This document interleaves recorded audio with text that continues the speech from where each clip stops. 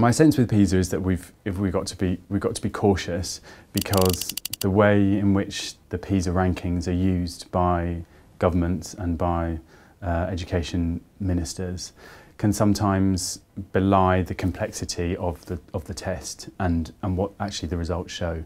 And I think that it can be for for the electorate and for parents, it can be a difficult thing to challenge if an education minister decides that based on the PISA rankings, these radical changes need to happen, or this needs to be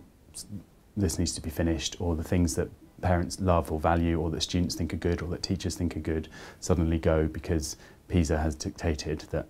they're not what's needed. Um, and I think that it's really difficult for ordinary people who who don't have the knowledge or the experience or the or the sense that um, it's for them to challenge. Uh,